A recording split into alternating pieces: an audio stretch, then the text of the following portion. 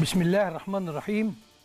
أهلا بكم أعزائي مشاهدي قناة الأهلي في برنامجكم ملك كتابة أينما كنتم. هي دائما الرمال المتحركة. فاحذروها. إبراهيم.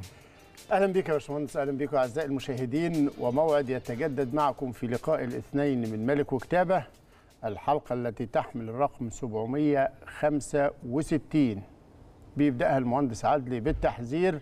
من هذه الرمال المتحركة. خير. أستاذ إبراهيم إذا أردت أن تضرب كيان مستقر أيوه. أطلق عليه الإشاعات واضربه في ثوابته. واستخدم كلمة حرية التعبير. خلاص؟ أي.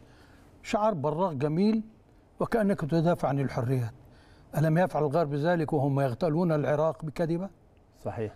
ويشعلون الشرق الأوسط ومنطقه المنطقة العربية بدعاوى الدفاع عن آه، حقوق الإنسان هم يقتلون الإنسان دفاعا عن حقه. مهم. حاجة غريبة جدا. ولا يمارسون هذه الطقوس على أنفسهم. في الرياضة اقلب بقى وشوف بس النماذج بتنتهج وسائل أخرى لا تبدو بهذه الفظاظة يعني. ولكنها أيضا مجموعة من الشائعات والاكاذيب الأكاذيب. حاولوا ضرب من 2014 ضرب الأهلي في قيمه وتقاليده وثوابته ونظامه لم يفلحوا. رغم ان هم زرعوا جواه من يكرهون الاهلي ها؟ أعداء الاهلي أي. وحذرنا من هذا الكلام. أي. وظهر متاخرا مهم. الآن المعركة بقت في ضرب إيه؟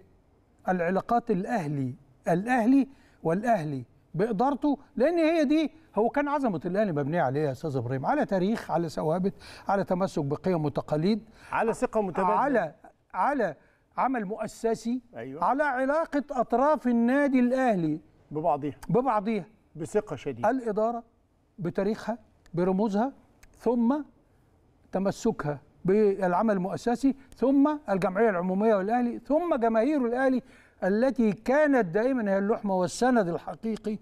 آه إن النادي الأهلي تجاوز كثيرا من الصعاب. أستاذ إبراهيم خسرنا خمسة من سان داونز هتف الجمهور للفريق وهو يخرج من أفريقيا بعد أن فاز بهدف لم يكن كافيا أدى الأمر إلى إيه؟ إلى أن الأهلي كسب الدوري؟ لم يلقي الفوطه يوما. اليوم وأنت في منافسة هناك من يبكي على ضياع الفرص. آه في حاجات لازم نتوقف امامها عشان نصلحها. هو مين قال إن الأهلي لا ينقد لكن لا يشتم؟ صحيح. الأهلي ورموزه ولاعيبته وجماهيره لا تشتم ولا تسب ولكن ننبه بعضنا. وفي كلام نقوله بيننا وبين بعض وفي كلام بس إحنا من كتر ما بنجلد الذات في العلن جرأنا علينا الآخرين. صحيح.